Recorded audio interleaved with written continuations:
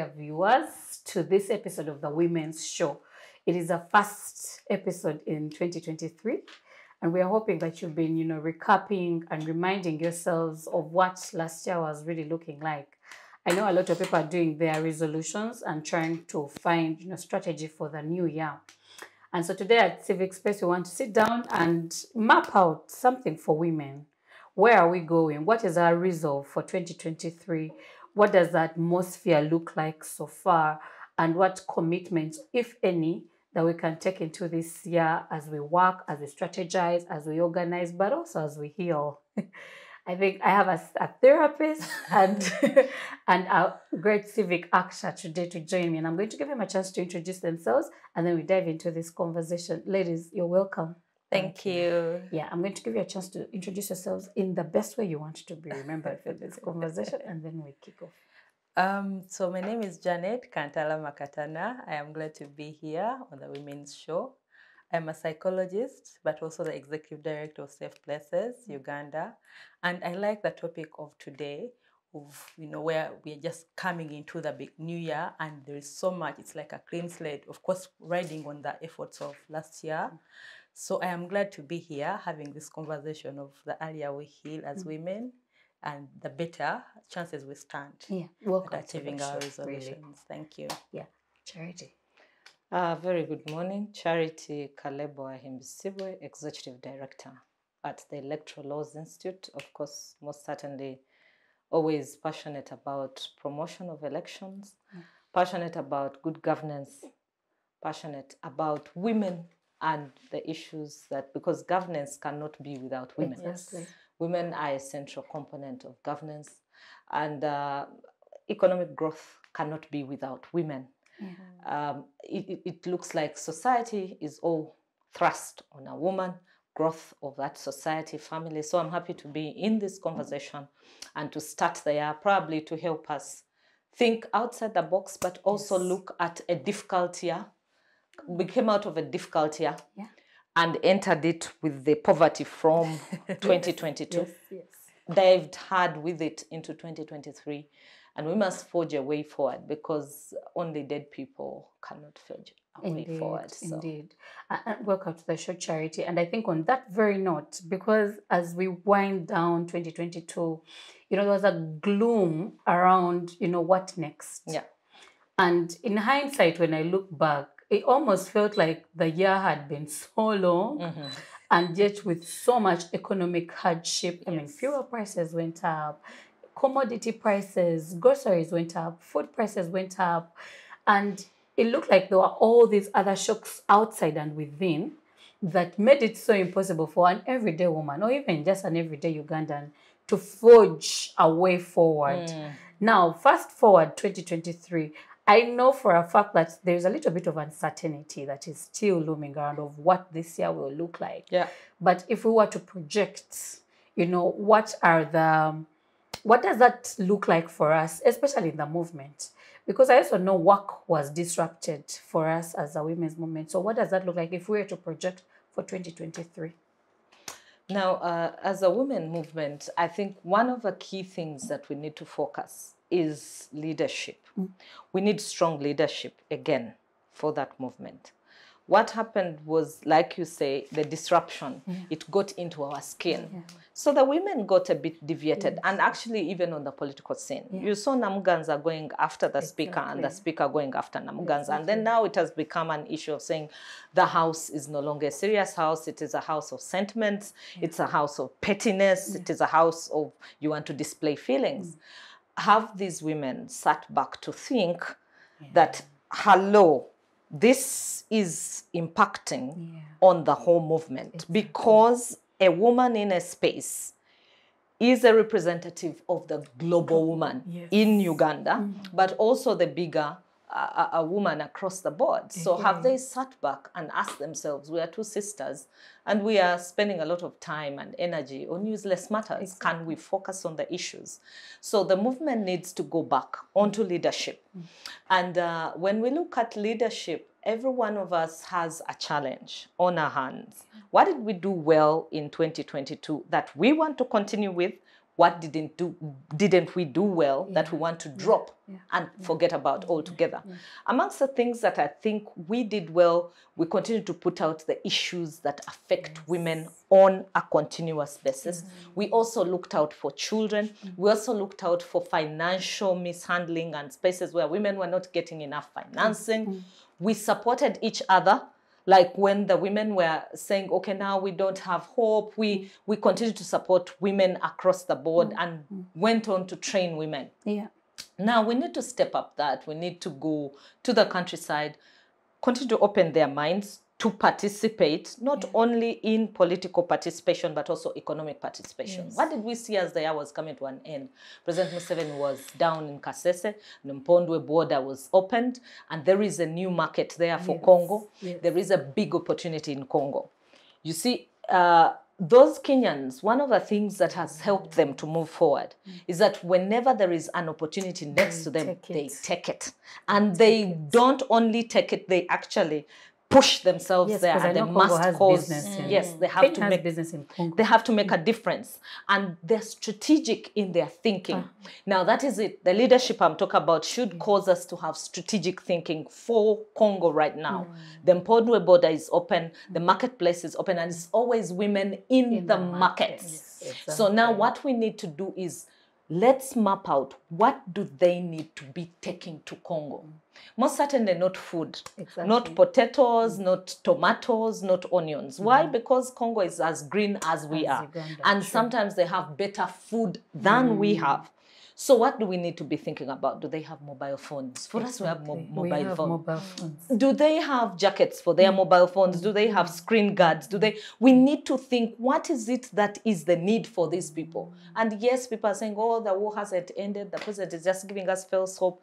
Yes the war hasn't ended. But the amount of dollars being sunk in congo are massive. And those people are there with dollars waiting to spend. Yes. so we're not going to lament for a long time. Now it's time for us to focus mm. Let us mm. keep focused and see where is the opportunity tap in there mm. innovate mm. we could do better this year I hear you. Yeah.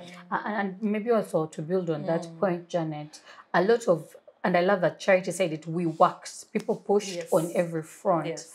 But what was missing in this link was something that only happened in a time I needed to see it. In mm-hmm. 2018, when the women came together to talk about, you know, sexual violence, you know, femicides, mm. there was a concerted effort to make mm. sure that this voice must be heard. Yes. And it was women from the embassies, women from organizations, I mean, lawyers. It was a consortium of women from the marketplaces. I almost look like, in as much as that on different levels we push hmm. always, coming together and having this collective voice was very massive and very critical. Today, when you Google about the Women's March, you'll find a history for it. yeah And you can now track back on what gains we've had Over post, that, yeah, yes. post Yes. that. So how going into 23, how do we push, you know, for joint concerted efforts, collective work, mm. collective pulls, mm. so that you know that once vibrant when women spoke when people listened. Like the women have spoken. Yes. when we did pressers people were like oh the women have spoken. Mm-hmm. So how do we get back to there now that we've finished you know you know coming out of this mental drag the covid pandemic you know the, the disparateness of things mm. Trying to build little by little on the sides how do we now come to work Together. together Okay, thank you so much, Trish. Like you said in your introduction, that uh, uh, we've, been, we've had a very long year, a very long year with very many challenges and changes. And those challenges have also impacted women in the movement. Yes, it's not only the last woman Yeah, who is out there. Exactly. So, and we know that the process of recovery does not uh, spring forward; it's gradual. That even when the COVID ended in okay, the the the, the pandemic um, came to um, slow down in 2021. 2022 has been rife exactly with the economic hardships, with and that is what we have passed through. Even the economic hardships themselves have impacted on women as well. So for 2023, while we want to um, while we want to also ride on charities leadership, while we want to have more leadership coming in and having that that big uh, uh, bang that we had in 2018, we need to sit to I mean first have individual setbacks as, as as as women. Yeah. If you are that leader in that position that you have been in and you have faced the same conditions that that woman that you're fighting for in the in the rural setting has faced, have you had a reflective meeting for yourself as an individual? Yeah. Because we can only be as strong as a team uh, if we are strong as individuals. That individuals come together to form, form the collective. So the invi- individuals that are coming together, are they broken? Are we broken? Because this Do we will- need to do healing? Yes, we, do we need to do healing? Because I know for a fact that the work that we do in the movement is very, very challenging emotionally. Mm. That you feel like, oh, you said you've worked, but sometimes you feel like we've worked, but there is so much to do. Mm. Even we've worked, but where is the impact of mm. us working? If our budget is still at the same level that it is at, it, it is not filtering down to the last person. If we are still having 56% of uh, of um, uh, people, women that are being beaten up and you know battered and whatever, if we Sexually abused. sexually abused, if we're having 22, 22 percentages of women, and even the cases that are being prosecuted, you know, if the process that we are fighting for that women should have a fair process of reporting and mm. getting justice mm. Mm. for sexual crimes is still so sometimes you as an individual who is in the movement you might tend to get to get uh, derailed out. to get derailed and worn out. And this is not just in the movement. Now imagine all the other factors that have contributed the covid the economic slump and now we are saying we also feel like we have not done our very best. Mm. We also have that feeling of we've not we, we're not Have I done the yes, most? we've not done 2018. Mm, mm. So you're also putting pressure on the movement that is worn out from this, and then you're saying we want to see better 2023. So I say yes, we want to see better 2023. Have we looked into how we have performed and how as individuals can self-improve mm. and heal mm. and do that 2023 with a bang? I hear you. Okay. Mm. So yes, leadership will come in. Yes, we're going to be strategic and position ourselves for Congo. I hear you. Who is positioned? Who how, how are the people we're positioning? Are they hmm? ready to work? How are the people we're positioning? Are we telling this people there's money in Congo when this person hears a bullet, they freeze? Have we healed? Have we done psychosocial support to those women? Because you don't get a person from Kampala to go to the Mpondwe border. Hmm. It will be that rural woman it who will be people within near Mpondwe. and these are people that have them. been chased recently by ADF from their homes of, you know. Are we looking at the the, the, the, the, the unit hmm. of the women that we want to empower? Okay? That we are working hard to get the statistics up or better. Hmm. Okay? So, yes, I appreciate we've done a very wonderful uh, job as the movement. And yes, I know that, of course, um, collective engagement is the way forward. And I know that without collective engagement, without the big voice of the women, but we need all women, even the leader. We need the leader to be in a better frame for us to then move forward as a movement. Yes. Let me bring you in charity. Uh, one thing the president said, and I quote, he chose his fishermen. And part of the fishermen Our fisher were women. and it looked like we had one on the vice president's ticket, we had one on prime minister, we Oh, had yeah. one on speaker. Third deputy mm, prime minister is a woman. And so it looked like there were so many women Yes. that were at the forefront of the political environment of this country. Mm. And for us as a movement, we, we, we tap ourselves and like kudos. We Mm. have representation. Yes. But one conversation that continues is is this representation delivering for us as a women's movement? And how do we tap into the mass of, oh, there are more women or fisher women in these spaces, but are we having that divide of politics and delivery when it comes to women's issues? And if not, how do we, you know, leverage such positions to be able to not just pig, piggyback on them, but also use them as mainstream efforts for us to at least elevate the women of Uganda. If anything, on individual basis as these leaders, but also on a collective and on a national basis, given that they hold power Yes. within this government. I actually think this is a very good question because uh, for a long time the women wanted to take the space. Yeah. And now we are really in the space. We are. and you you've just mentioned just a small bit of the one of the fishermen and women, but the women, fisher women. The prime minister, I think, has not delivered uh, strongly on the platform of women, nor has the vice president. I've not seen them say we are organizing a meeting, for example, like we did with International Human Rights Day. We celebrated women, but we were reflecting on the question of sexual harassment and the increasing number of uh, uh, uh, mistreatment of women in homes and violence and we were talking about issues of marital rape and how it's difficult to prove mm-hmm. how women have gone to workplaces and they've been taken advantage of and ca- don't even have where to, To- break the yeah, ice yeah, from yeah, and they've continued mm-hmm. to suffer. Mm-hmm. Those issues were big and rife as the year was coming to an end at that human rights conference. Uganda human rights commission invited the ministry of gender I want to shock you that your minister, Betty Amongi, did not come. show. She did not, she sent a representative of the Equal Opportunities Commission. And uh, when uh, Madame Sophia came, I wondered, okay, was there a conversation between these two people to know how to exactly. continue these conversations because we do international conversation mm, mm, mm. and then it is very good by the time we're leaving that conversation everybody was like yeah yeah these are critical issues we must continue the conversation and there is no one to continue the conversation.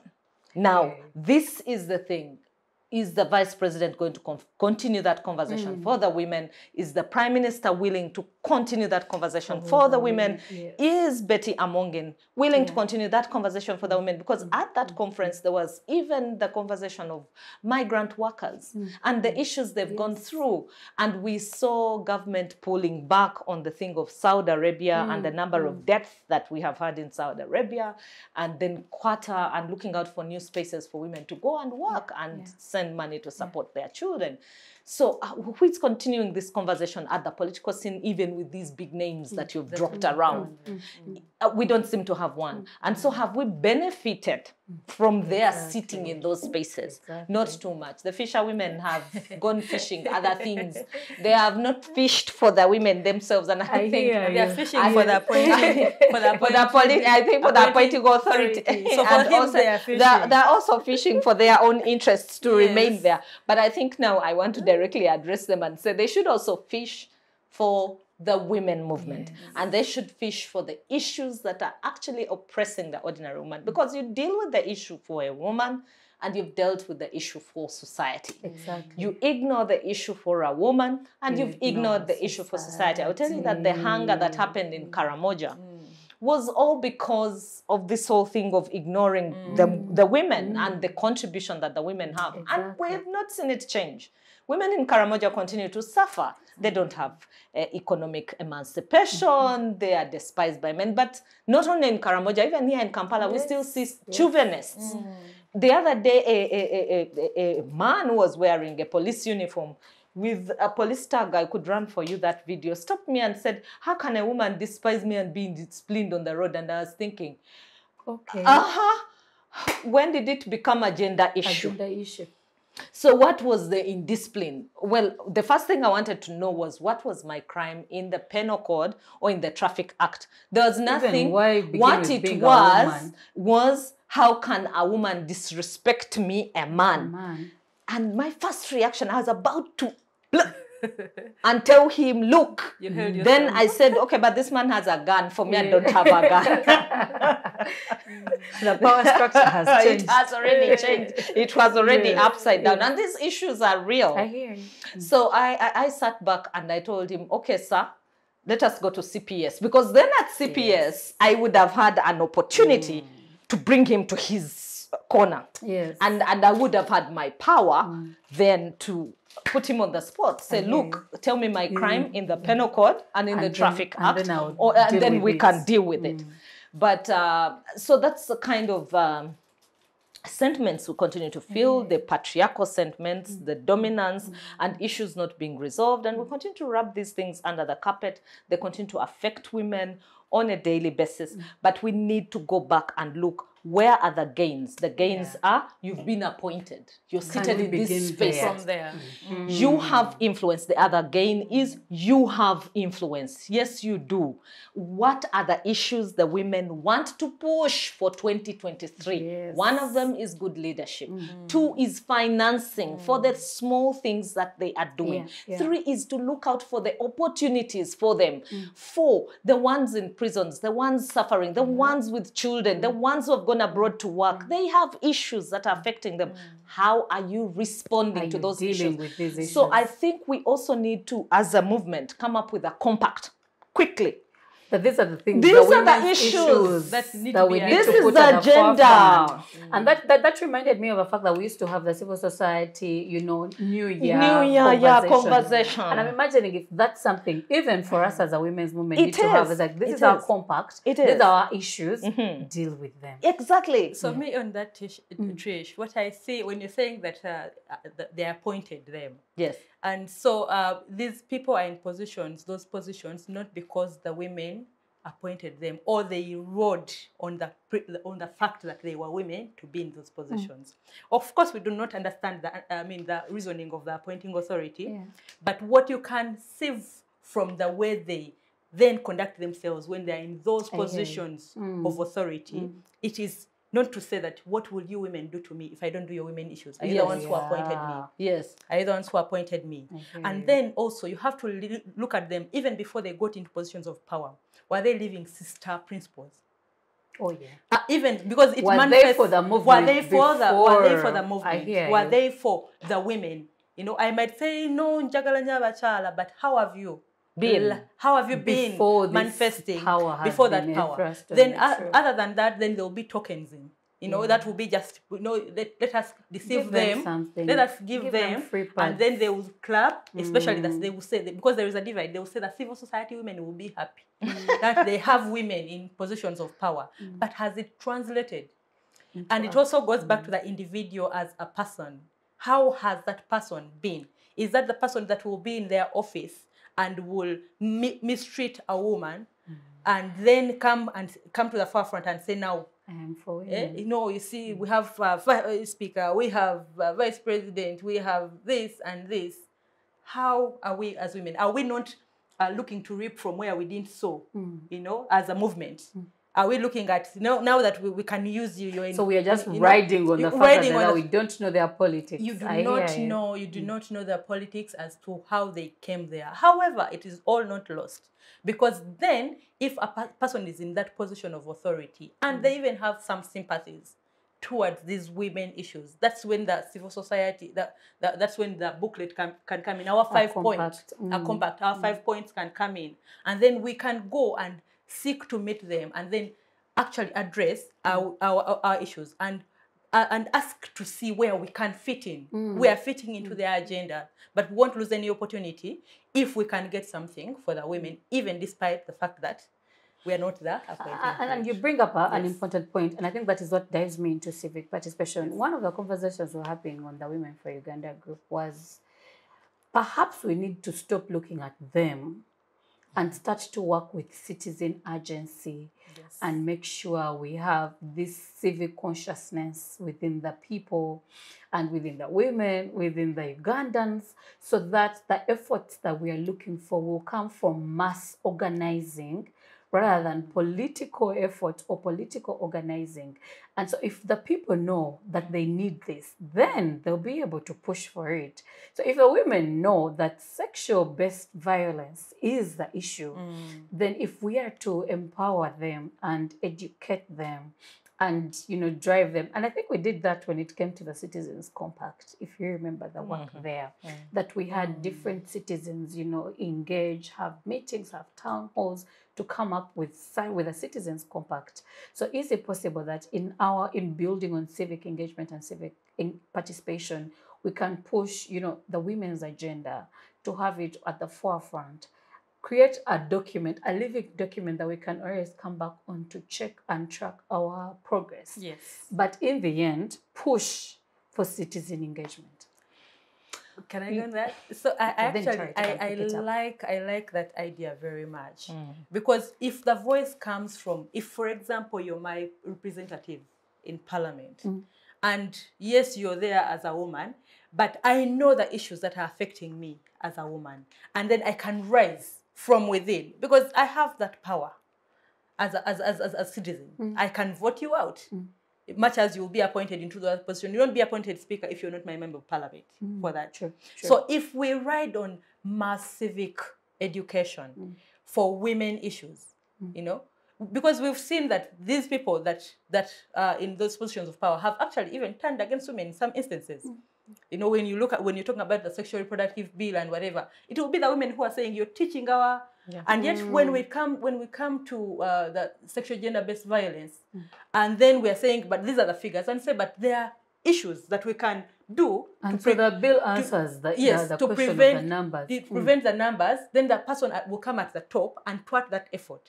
But if then I have authority to send to positions of power the people that will speak for me on my issues mm. as a woman, then I should be able to exercise that if I mm. am into my knowledge. Mm. Yes. So, Charity, can we do that work? So, on the question of uh, citizens' participation, especially women participation, in terms of organizing, I don't think the women can fail to organize. That's true. The problem that women are facing, unlike everybody else, is the harsh economic times and the fact that there is no funding. Mm. And you see, for organizing, you also need a bit of funds. Because you're going to print material, you're going to lobby people, you're going to meet in spaces, you need data, you need phone conversations, you need online conversations like the ones we're holding. And we cannot have citizen TV moving across the whole country. Exactly, If we had the funds, we actually would would be happy to to. move Gloria to Mbale, pick the views of the women in Mbale, go to Soroti, go to uh, go to all these small villages, go to Kanungu, because right now they've just showed you about Kambuga Hospital, Yes. And it's the women who give birth in that, In that hospital. hospital. Meanwhile, they have mm. never said it for 30 years mm. that women were giving Women birth in this birth hospital in hospital. until a minister, a man, was flown there and, And he could- didn't he could not- and then he said they had to be flown to Kampala. And then the journalists brought up the story. So until Glow goes there, those things will not be unearthed. And for Glow to go there, we need money to facilitate her. We need to give her her transport refund. We need to move the crew and pay them. So I am saying the question of funding is a big question to mm. organizing. Mm, and it's a big question to raising the issues the way you want them to be raised. So are we being uh, uh, sidelined by funding? Yes, we are in a big sense. Mm-hmm. If we still had the small monies that we had, we would have. But we are going to work within the resources that, That we, we have, have. because we already have women across the spaces. Now, what we need to do is to consciously begin to change their mindset to look at the things mm. that we would have agreed on on the agenda. That then will cause them to participate. Mm-hmm. They will participate because of the following reasons. Look at the education policy that government is mm-hmm. suggesting. Mm, I That is because one. King's College Budo is paying 2.5, Nabisunsa Girls School is paying 2.2. Let me tell you, Nabisunsa, when it was started, because I'm an OG of Nabisunsa, I'll tell you this history. It was started to help the intelligent children coming from modest, Modest families. families. Now you're charging them 2.2 million. What are you saying? So that children from poor men's families and modest it. families who are brilliant will not attend school because you're charging the same fee like Gayaza. Like Gayaza. It came on board to help those who would not go to Gayaza or Nabingo. Exactly. No, no, not Nabingo. Who would not go to Gayaza or or Namagunga Namagunga. but they were equally very good. Where do we accommodate them? And they don't have a lot of money. That was the history. And so there's a whole disparity. kill the history, bury the school, mm. and then who are you going to help? Mm. Because these young girls were coming out. I am here influencing country thinking, Yes, consciousness, yes. uh, political thought, mm. everything, because I went to Nabisunsa And it was affordable. and it was it was possible for me to go there. Yes. now block off all the girls who can be like me and mm. you see what you're doing. Hear you're killing your own country. If you have 50 charities who are being churned out mm. then you have something that you're talking mm-hmm. about. Mm-hmm. If you have 100 charities hey, Eunice Musiime is an Yes. Absensa product. I hear, yeah. block Eunice. Okay And now you block 15 more units exactly. to be uh, able Uh, uh, the whole Amwa which she's running the women Shazem influence the what she has mm. done. You have blocked all that. You have sealed it off. So I, I- think what I am trying to say is when you push the agenda of a woman from her mm. own eyes, let her see it through her lens. You get Yes. bigger. You get her to impact. participate mm. more critically and faster. So this question of school fees, we need to support government like yesterday. These stories of the private schools saying, "Hey, we came here to make profits. We are a business entity, Education business minded. be a profit It is a public good, Exactly. and the law is settled that it is a A public. public good. So please, as you go in there, remember you are guided by the Act, the Yeah. Education Act. So now, us as women, we now to also need to come up and say quickly, yes, Now. our Mary Hill, we mm. need it back to affordable standards. Yes. We need Weranyanje back to Back to affordable. affordable we need standards. Nabisunsa mm. back to affordable. We need Gayaza back because we The have our need to go to girls. Yes, we still have a girls' agenda. Mm. And yes, there was the affirmative action, but notice now there is the whole conversation. Do we still need that affirmative And I action? noticed there is a conversation on 50-50. Yes, parity. It's also going And down. I was like, okay, when we have parity, do we still keep our affirmative seats? Aha. Because it's important to have affirmative seats. Mm-hmm. And rightly so. We are never going to come to a place where we are equal with the men. But uh, the conversation is still going and saying, no, no, no, get those seats away. Because that's one of the reasons they're saying, okay, the parliament is now bloated. We're mm-hmm. 529. Mm-hmm. Can we start by removing the women? Oh, because if wow. we remove the women, they are the big uh, thrust. We oh, are good to go. Let them compete with the men. And I have had strong voices, even from the women movement, supporting mm, 50-50. that position. Because they say the women who came on the women ticket have not supported the other women. Now, those are things that the movement needs to iron out as well. Mm. The movement needs to sit down and think through that. Is it a good one? Is it a bad one? Mm. What are the pros and the cons of mm. it? Mm. If we go for, okay, yes, for me, for example, I push for a smaller parliament. Most certainly, I want a smaller number of members I of parliament. you. Because why are we spending all our All that money on 500 plus you know, people. and people are splashing in our faces, Range Rovers, what they are showing us. never in the house you poor, debate. poor people, you go there, die in your misery. Mussolini type, pull off one feather, throw it down. For me, I will be comfortable where I am. So I push for a smaller parliament.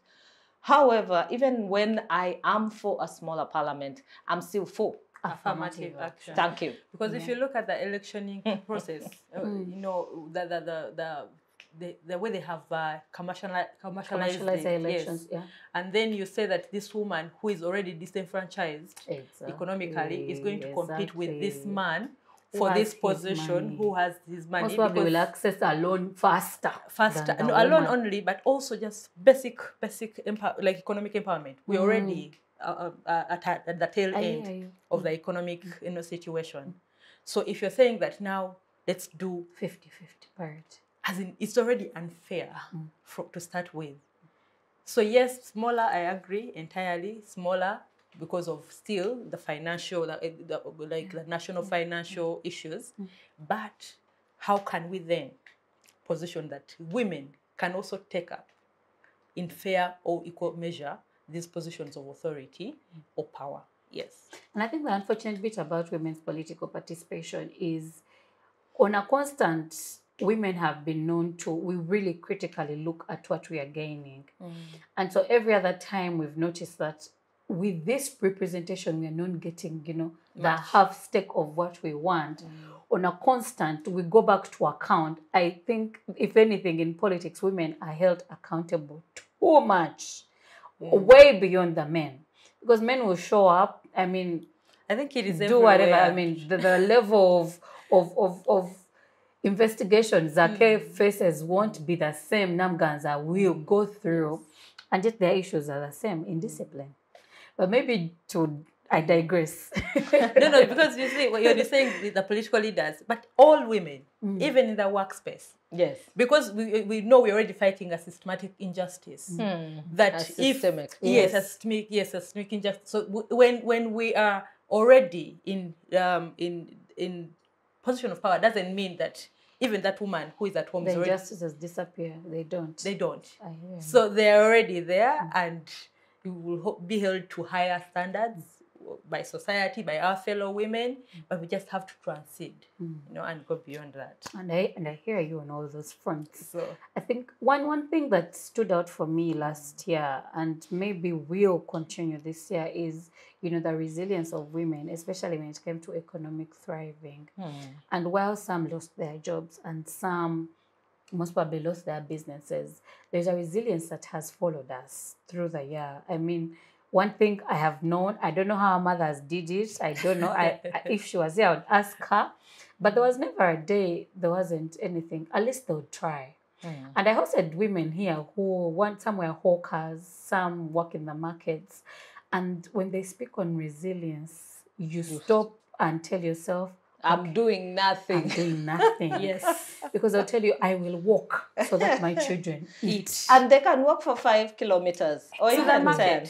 And they But outside town. One of the things that I'm disappointed about government, and I keep saying it every time, is that they know that the backbone of Uganda is agriculture. Okay. Mm-hmm. And then they also know that the biggest people who support agriculture are women. Are women. And they have failed to organize them. Secondly, they have failed to support them. Do you know every document you open will say modernization of agriculture, Exactly. irrigation of agriculture, And then we have schemes Mechanization, industrialization, Mm. Emyooga, Mm. eh, PDM, and all of them will have a very good uh, uh, uh, uh, line or tagline on agriculture and improving of that agriculture. You know, if if actually effort had been put in improving and training women to understand how they do this better farming, Exactly. we would not even suffer hunger and Karamoja famine. would never knock Eh, famine. eh, even us who are going to because like this year Uganda. we are really going to suffer a lot of famine because of climate change. Yes. Did you see how December suddenly had too much rain? Yes. We were there shivering. And then at the turn of the year, and I switch to too much sun. I was like, how? How do we go from too much rain to and we were Striking flooding sun. everywhere. Mm. And by the Now way, we're those noticing floods, that, no? they affected gardens. They They affected did. maize, Yes. uh, uh, matoke gardens, whatever. Everything, the food stuff so has there been is a really harvest that won't happen. Exactly. And there is food that wasn't even kept in the silos. We don't have silos. So my challenge to the government, and I said it and I will still say it, it is my year starter and mm, projector mm, mm. and the only way to put them on spot. We have 70,000 villages in Uganda. Uganda. Establish 70,000 silos across Uganda so that we can work with the 70,000 villages to deal with the question of food security. The first Maslow's need is the food. yes. If we don't have food, you know, we would rather walk around naked, but we need our, we need food. We need to survive. We need food. That's why we wake up in the morning to go and work. We mm-hmm. actually work so our fridges are full of food. Exactly. Food. Food is critical, and we need to put our focus there. If we're going to succeed in 2023, and if we're going to succeed in the years going forward, actually, if you look at the developed world, the first thing they deal with is the It's question of food. question of food. That That, they, that they they- have surplus. They have surplus. And mm. Even when they are freezing, they mm. know they have, They have food. food. That's why for them, their weather is not as good as ours has been. It's now mm. getting disrupted. Yes. And we need to think of that very fast that mm. our weather is changing in patterns we can't understand. Mm. We used to know oh, we shall plant around this time and we shall harvest around Now this time. Now you can't know because you put your food there, then it dries up with the sun. Then you will not put your food there and it will, uh, and then it will, you won't have food to eat. you won't have any food to eat yeah so we we need to think about the question of climate change environment very seriously. And food security. and food security. If i were a government beyond just saying i'm not going to spend on infrastructure the way i have spent on it Yes. and beyond saying okay it's pdm time i'm going to spend most of this money on pdm because of what i have known with the myoga and uh, uh, the, the other pma the, the uh, agricultural something uh, the NAADS, the what, the NAADS, had all those so programs. many programs. and they were not successful Mm-hmm. Mm. i would channel my money now to think about the question of Infrastructure how do i organize my ugandans to produce agriculture. enough mm. food mm. Enough that we have surplus to even export. and i- import. especially the dry grains those ones make sure mm-hmm. that for us we have some seed which we can plant somewhere mm-hmm. and then i would also organize people in knowing who is producing enough manure ah. for people to put in their ah, gardens. Because also the gardens got changed by the fact that we've been putting kaveera we've done all this environmental thing is interlinked on many things. Who's producing that manure where are we putting it? And how do we then disseminate it to people? That's the information i've been mm. talking about. Information is going to drive us forward. And the funny thing is, the agriculture system has a cycle around it. And so there are many other jobs that will come along the way. Yeah. Because then you start to think of value addition. Yes. And so the modernization and industrialization becomes a thing. Yes. Before we even talk about it, you know, in hindsight, we need to be able to first begin with what are we doing agriculturally to make sure we survive. We internalize the process, Yes. we understand the process, we plan for the And we process, and then we do. and, while and we we are keep the woman central No, to it. we, because we know she will be the 70%. Yes. We know she's the one who will farm the and till the garden, garden. exactly. And then, so that means if we do that, then we are pulling out a big percentage of women to come to at least level. if the men you know. don't steal the money. See, we so- so leave that's- that. Because the thing. challenge is, Yes. it's not that the women are void of the economic activities when it mm. comes to agriculture. yes But that even when they do the tilling of the land, Yes. it's very possible mm. that they never get the proceeds of that land. So that, You know, for example, there is an opportunity with mm. cassava after the president went internationally to say, oh, it's one of the uh, products that is used in the production of drugs, and it can help them to produce some of the drugs that are international. Mm. And so the people are thinking, so you have enough cassava for us to even import.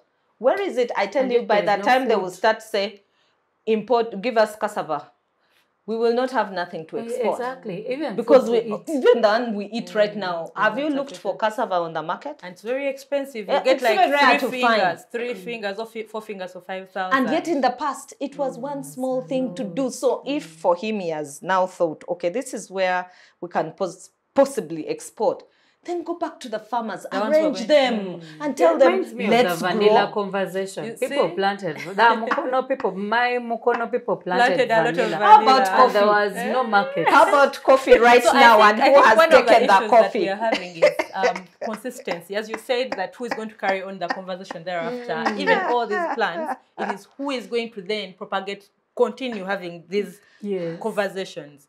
And then when you say that if a woman is convinced to, you know, to do her cassava and she sells, then the husband will might take the money, then we say we're going to do multi-pronged approaches to education of these women.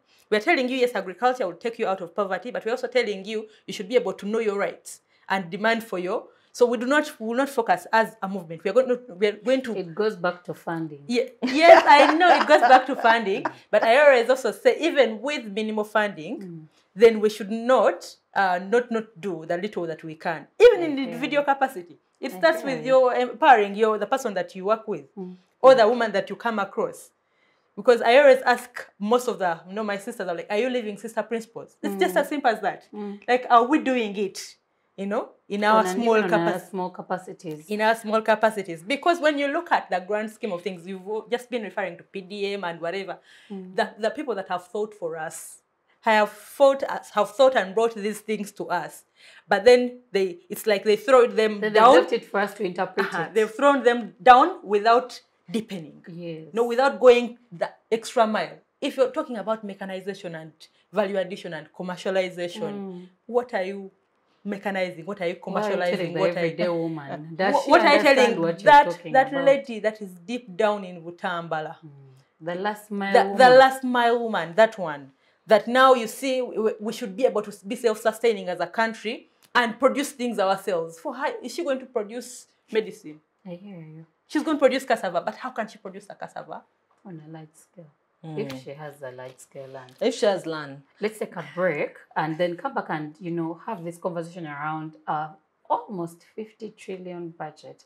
But what does that also mean to women? And what's our stake in this budget? Don't go away.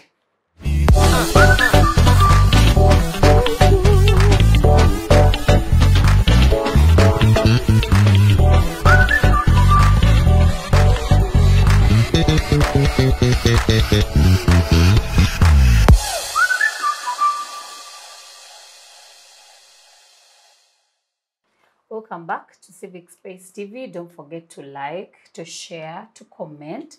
and to invite a friend over so that you listen to these conversations. But most importantly, so that you have a reference point to things that you can continue having dialogue on in your communities. That is before we broke, we were talking about economics and you know the state of agriculture in regards to women. Mm. But part of that is the budget. The budget framework paper came out and it's at 49.9 trillion, seemingly 50. And I'm not void of the reality that we also have supplementary budgets come as the year goes along. But for women, the concern is what is our stake when it comes to budget, you know, the budgetary process, the budgetary planning. How can women actively be engaged, you know, in critically understanding what is going on when it comes to the national money because it's our money as well. But also the other critical thing I want us to dive into is on how we can come from such a high-end budget in the times of recovery to be able to, you know, to, to factor in the fact that we need to recover at a pace that we understand or at a financial level that we can sustain. Given that we have a debt to service that takes up part of our budget, we have a half half service budget that is foreignly serviced. So how do we, in the totality of this narrative, of a 15 trillion trillion budget of a debt of women, but then also of such money in these times, how do we factor in women in this conversation, in this budget process? I'll So of charity. course, full monetization of Uganda's uh, full monetization of Uganda's economy remains the title for our budget. How are we going to be fully, fully monetized. monetized with an 81 trillion budget uh, debt? Oh wow. Because you said we have a debt, it is Yeah. 81 trillion. Now, do you know what is causing that debt to continually be 81 trillion? Because on an annual basis, you lose close to 1 trillion in corruption. Oh wow. So you just need uh, uh, one. You, you need eighty-one trillion. Divide by how many years would you need to pay back that debt? I think about eight or nine years. Yes, yes. And you're able to pay back the debt. mm. If you can deal with the question of corruption, and and and women largely because they raise children and they have values and they they believe they have a system and they're not usually the key drivers of corruption. They are actually the key drivers of morals, high standing, understanding, improvement. So no wonder it's a shock when a woman is at the height of a corruption scandal. Exactly. it shocks the world. Yes. Now we so what what can the women do? I think one of the things that the women can come in to do now is we continue to push for accountability. Let's hold these people and make it very impossible for them to steal this mm, money. Mm, mm. Where is our grand scheme of things? Because we will not be able to benefit. There will never be any full monetization of that uh, uh, um, budget or economy or whatever without the money being there and with us continuing to borrow and with us continuing to service the debt based on the money that we are borrowing. Hmm. Now, one of the other things that government said they were going to focus on was the question of renewable energy. Hmm. While in Kampala we have a bit of electricity, hmm. we have uh, energy that is running, umeme is signing up, hydro. Mm. ESCOM is coming in, some of the dams are closing. They are, We had started getting load shedding. Did you know that we I started? noticed. Yeah. I and that notice. also affects women. It affects women in terms of production. Hmm. That's why we've continued to have women going for firewood. You're blowing firewood Yes, yes. Non-stop, and they are getting diseases from firewood. Then we have charcoal now running out. Now, why is charcoal running out? Because there is no more wood no in the trees. Mm. There, I mean, we have The no forests. more. No, in the forest. You go to Mabira Forest. You see the trees in front here. In the middle, The the, whole forest nothing. it's all empty. Now, if you're going to talk about renewable energy, then it is the question of planting trees. It's the question of improving uh, spaces for making briquettes. We can mm-hmm. put the women in the space for making briquettes and mm-hmm. selling that renewable energy. How are we positioning her in the renewable energy sector? Mm. And is government actually committed to that renewable energy and the energy sector? Because energy is so much a question of security. If we continue to be in blackout, then ADF can easily move around. Because at night, unfortunately, then the military has a higher stake in the budget, yes, but not necessarily hydro or renewable mm. energy. No, I, I- I think the, the deal would be that we would need now to shift that The focus. money from military into renewable energy. Exactly, because now we have had a bit of stability for some time. Yes, we know Congo still has these issues and whatever, but we also know there is a, an army. there's which an is- East African task force now. Yes, so mm. it's not just the Ugandan mm. army. Mm. We- I know we also are still in Somalia a Yeah, bit yeah. to drive our interests, but also to look at the general regional interests of stability.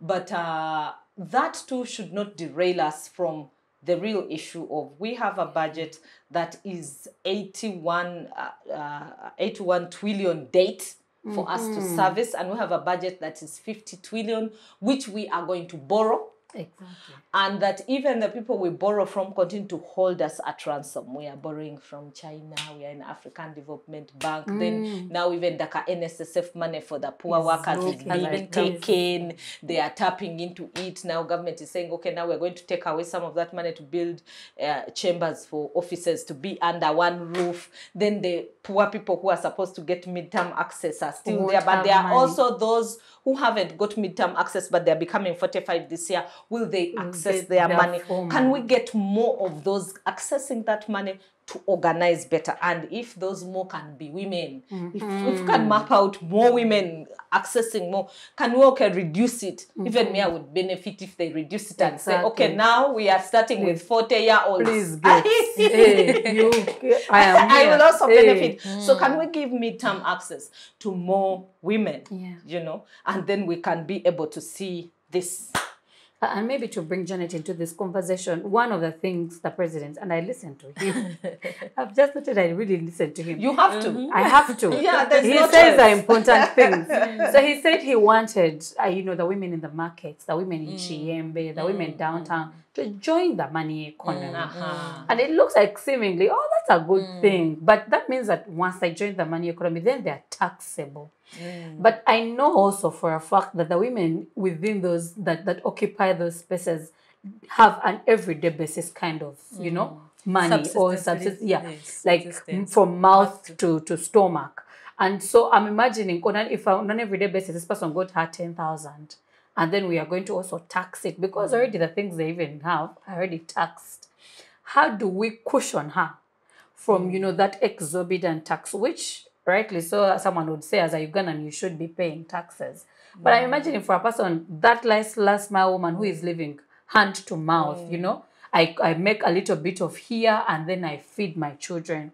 How do we protect her in, in this monetization narrative that we have? So if if I look at the 49.9, that is 50 million, Mm. Yeah, yeah, and I look at the agenda of government of full, uh, full, Mm, Full monetization. monetization, economy. Yeah. and I look at who takes the burden for care in our families. yeah. Who takes the biggest burden for care in Mm-hmm. our families?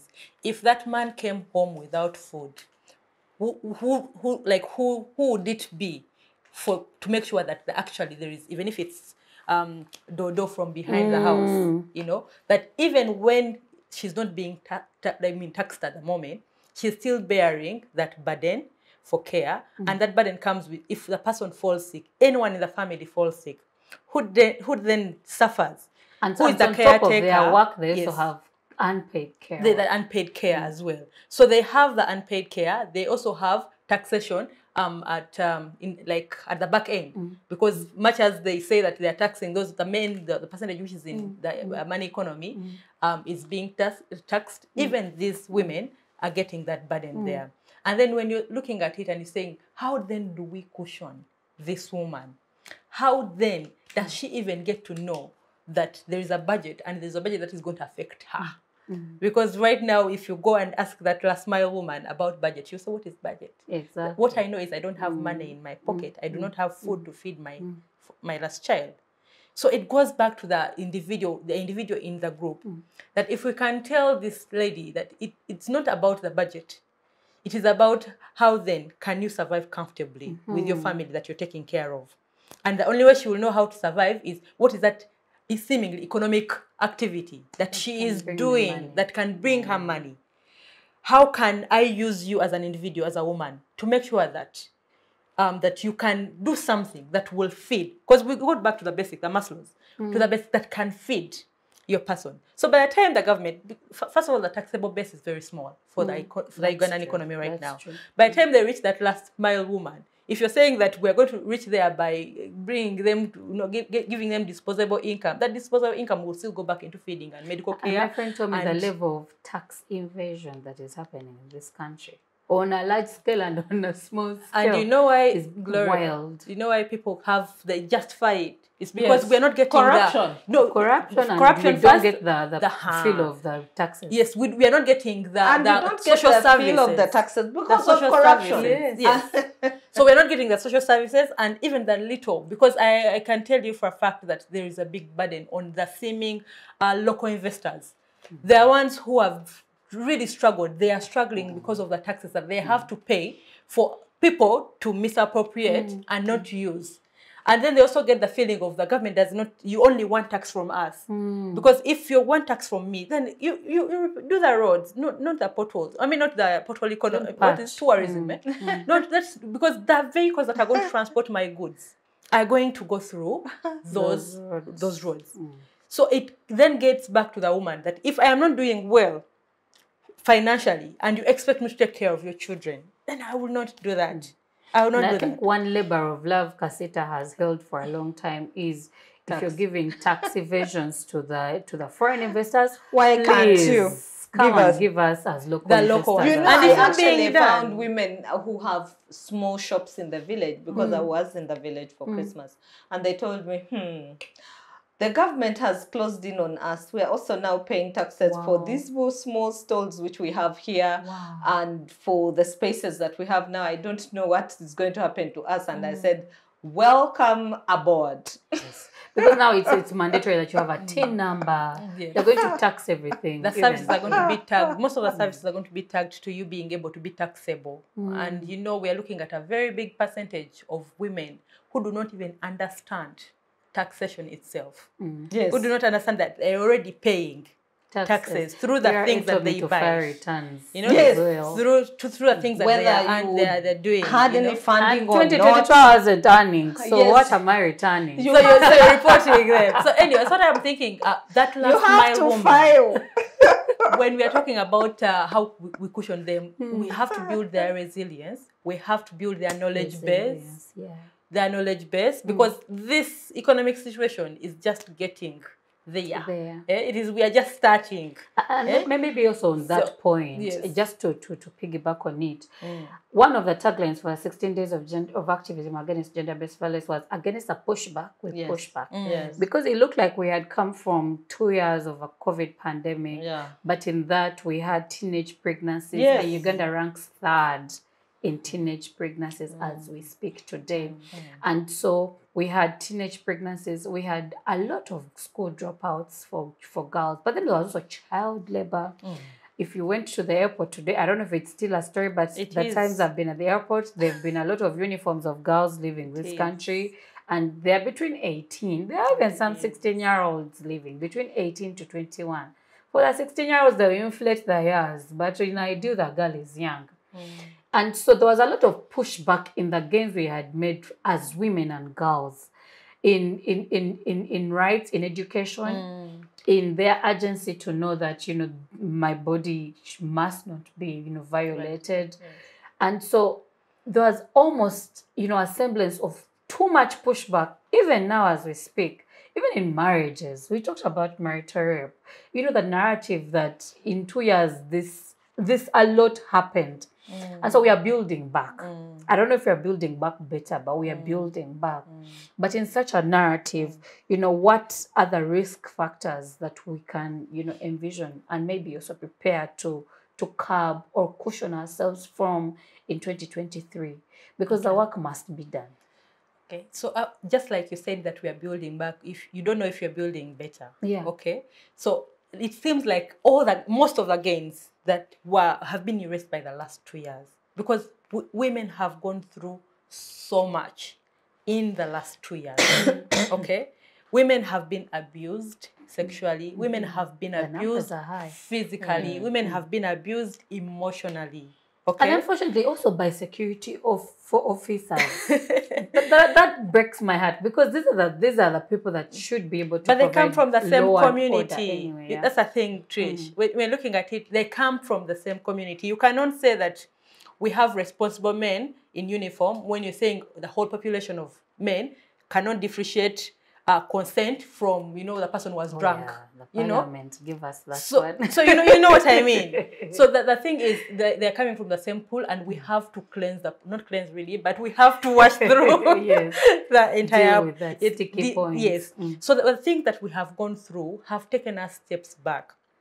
And some of the things have even a far much reaching impact. Mm-hmm. Because when you're looking at teenage pregnancies, you don't look at it as just the person has gone out of school. Mm-hmm. Even the person, the human, the individual person will not be the same. For we know that if a person goes through such traumatic events at a young age, Mm-hmm. they- their mental health is likely to suffer for a very long time if they do not get the help they need. So Mm-hmm. you're looking at a person, or you're looking at a generation, for example, the senior fours now who have gotten pregnant and whatever, uh, who have been uh, raped, who have got pregnant when Mm-hmm. they're young, and you're expecting these people to live to their full potential. Mm-hmm. If they do not get that access to the help that they need for the things that they have gone through uh, within the last now if we had 2022 to it because much as it was in covid it was as harsh as it was as harsh as 2021 Mm. because it was just we're, we're tra- Well, trudging you know starting Yeah, we- yes recovery. we're starting Mm. recovery so the same issues that we have sung about and we are still going to do that is the uh, sexual gender based violence uh, we're going to talk poverty We'll deal with child marriages. poverty, child marriages, um, uh, uh, period poverty, you know, girls not going to school for things that are not really necessarily their fault. They were not, they were born female and they have to get access to these things. Uh, we're going to look at, uh, um, we've talked about early child marriages, yes, Ch- child labor and exploitation, you know, that, that, that exploitation. And yes, the exploitation is happening two ways, but you know, because the girl can easily get, you can get a rich man for the girl. And we know that, you know, if the rich man, the girl goes in as if exchange of mm-hmm. gifts. So those things have a very, very big impact on the girl of tomorrow, of the girl of 2023, mm-hmm. of that leader of 2023 that we want, you know, because they all affect us in equal measures. Mm-hmm. So those are risk factors that we have to deal with and strategize for even in 2023 going forward. You know, we have to start conversations about okay, so we've had we've had the sexual uh, the SGBV talk. How different has it happened for us in the last In two the years? last two years. Okay. How different can it? No, before we were saying yes, sexual gender-based violence and you know uh, female genital mutilation, but have we seen the magnitude? Of what have, is happening. What is what's happening, and what are the other compounding factors that have come in to look at. because of the two period, the, the, the periods that we have gone through.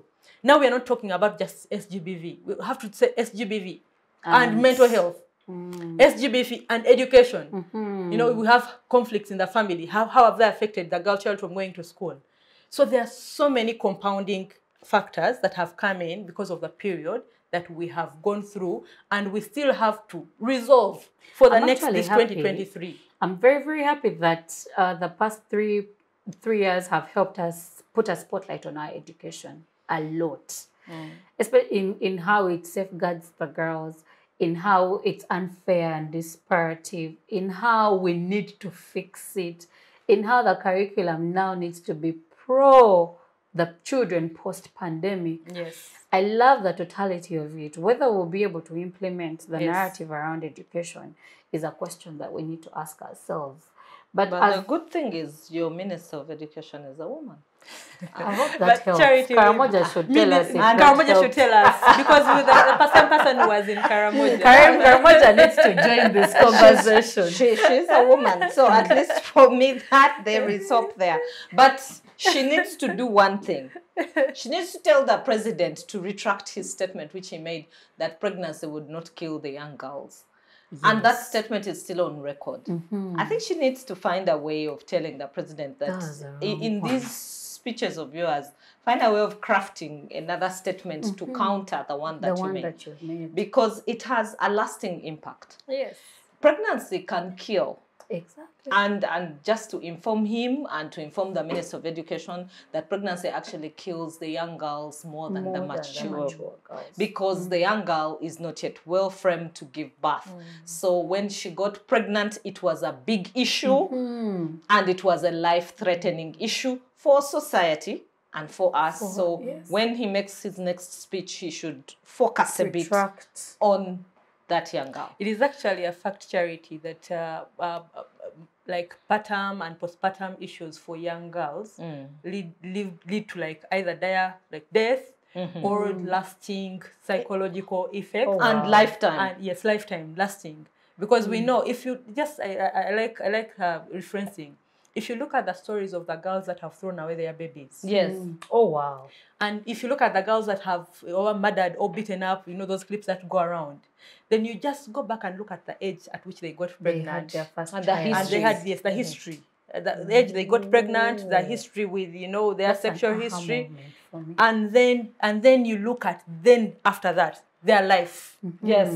So it has because you know if if you as a developed woman like 25 whatever if you go Grown. through the mm-hmm. grown you know grow, go, Go through, through the, the pregnancy the- yes, yes. and pregnancy it thing and- traumatizes you then what of that girl whose faculties we know brain development at least mm-hmm. minimum of you know it should be at 18 and 20 years of development brain just the formation of the matter The matter. yes you know so now telling me that you're going to alter the path Her whole life. her whole life because of that and you say it didn't And kill her it might not kill kill her. you but, But it would affect society. you It would also change life. Will kill society for a long time because those are the mom, moms Mm-hmm. of generations to come, and the children that they produce during that time. What shape are they in? Hmm, Uh, how many children were produced during that COVID period? And as we talk about recovery, do They're we three years now. have we tracked them?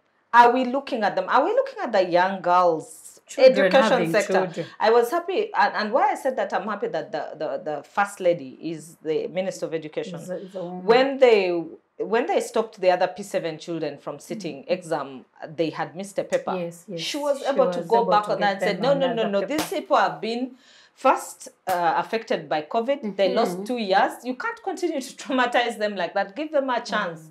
Give so them another paper. had it not been a woman, I tell you, I swear, had it been a man who was a minister, the one who going to sit I, that paper. I, I don't know about that, but I, I tell you the truth. But I like If the it- initiative. I like the fact that they woman- fought for those children to sit their exams. She did. It was because, her. Yes, I like that she fought for those because otherwise, uh, otherwise it would have been a very, very bad thing for Yes. the people's future. Yes, yes. Yes. Two years Yes. lost and then And then another again, two over seven and years. so they have to go through another whole year. eh, just because, and it wasn't their fault. It had Mm. been the education fault. So I think that uh, largely to think about recovery, the economy, and women are critical things for government, and they Mm-hmm. should not take them lying down. Because why? Uh, we even when you look at the the election patterns, Yes. uh, the bigger percentage of the voter in this country is a woman Women. the smaller percentage of voters are men. men. So if you look at the women population, therefore, it is big. And mm-hmm. so if women are the ones who are putting men in places of influence, or mm-hmm. they also have women in places of influence, then economy is so much an issue for women, Women. Mm. as it is an issue for government. Actually, the government, uh, one of the uh, things that NRM likes to pose about is that they caused women emancipation, although the movement had already, Had started, already started. globally, and so they were just fitting There was just political but there will. is a lot of regression that is happening at this point in time. And what should be happening is look out for what are the women doing? How do we organize women better? How do we support women? to benefit from the Mm-hmm. economic spectrum because this economy will not grow without the women. Without the if you go to Kikuubo right now, the biggest number of people Are there are women. women. If you go to the people who are selling clothes and yet bringing in a bale of clothes, the price has shot up. Mm-hmm. Yes, They're finding it difficult because of the taxes that you're talking about. Mm. What is it that government can do to improve on the bale price so that the women can go back into their spaces of selling their And shoes, work. selling their clothes, Mm-hmm. and be able to make a living for themselves, but also support the society in which they are. Mm-hmm. And then in the marketplace, also the dynamics there have changed. Look at the markets in Kampala. There's a lot of politics that is happening around the markets. Actually, I'm hearing deafening figures Yes. of a hundred million US dollars for one market, and then the market vendors being asked to compensate to, pay some of this money. And I'm saying, eh, 100 million hmm. US dollars. And they've done a lot of petitioning to make sure that they don't lose their markets. Yeah. Unfortunately, the leadership will change for the markets. Yeah. But I hope the women are not sidelined in that conversation. Yes, and, and, and they are trying to politicize the woman and say, Yes. oh, because these women belong to the opposition, they belong to this. Can you please look at the women as women, as people who are trying to fend for their society, and try to give them more information and also fix them in places that mm-hmm. you know that for a fact here there will be an influence, there will be a change because she's a She's woman. there. Ladies, mm. as we wind down, I mm. think I, I want us to project into the future. I hate to leave, you know, a conversation mm. without doing some scenario building for us to understand how we can project ourselves into tomorrow. Looking at, you know, the narrative, and it might be all wrong, but I hope we get it right on this year. Looking at, you know, the past three years, the recovery period has happened. We've known that an economic crisis could actually wipe us out. How do we, you know, foresee what 2023 will look like, not just for the women, but also for Uganda as a collective? Okay.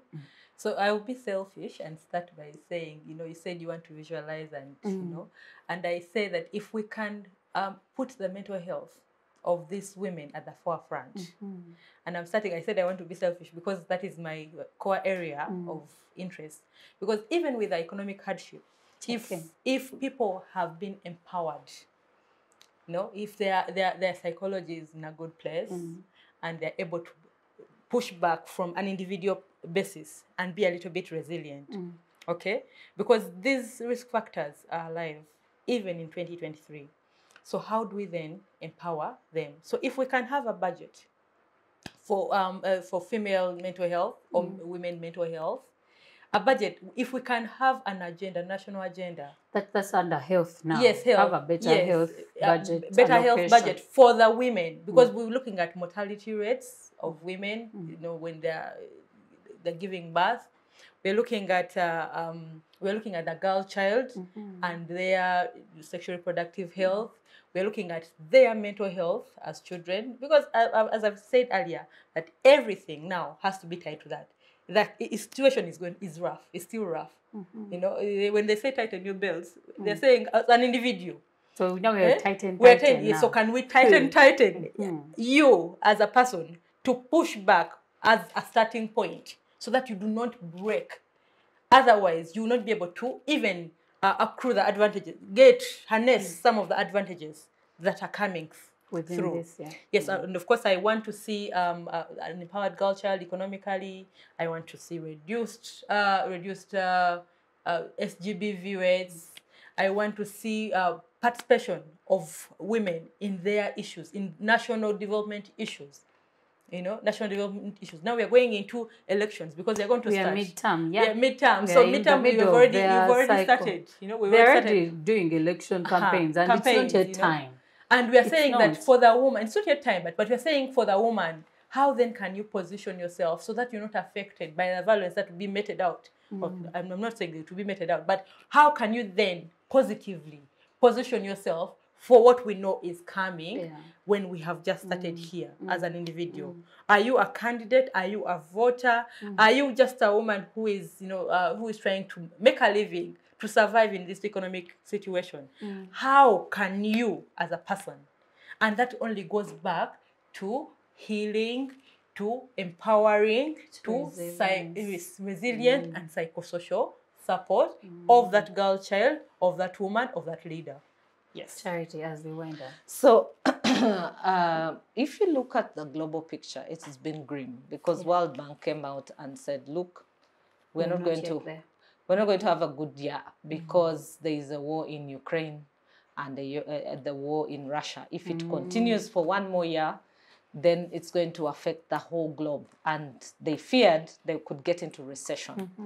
Now, sometimes when the globe talks like that, we want to ignore them and say, oh, it is those American things. But this mm. time, it's real having effects on us because of what I said food Yes. that because we don't have food, if we had our food, then we'd say to hell, like, continue to talk about your whatever. Mm. We have food. Mm. But now our food is threatened. So going forward this year, first support the women, support every Ugandan to produce food for their home, but mm. a surplus to go to the silos. Mm. Two, as we begin this year, government needs to be very deliberate in putting the citizen at the center. Like Glo, I want to mm. join and say, I want less women dying at giving birth.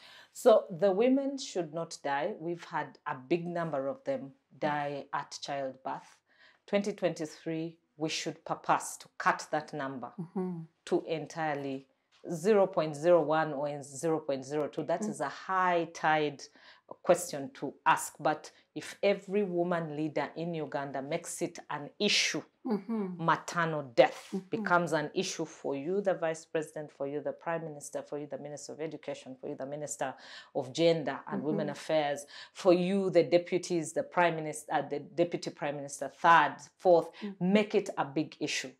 And then the third projection that I want food security was one, two, mm-hmm. less women dying. Mm-hmm. Three is the question of the girl child education. We need to go back and focus on the girls and their education, the gains made. How do we progress more mm-hmm. on that front? And what quality is there? How do we support our girls more than just export them? To Saudi Arabia, to Qatar, to work as domestic workers, but how do we support them to get educated and also find useful things to do for themselves within this country.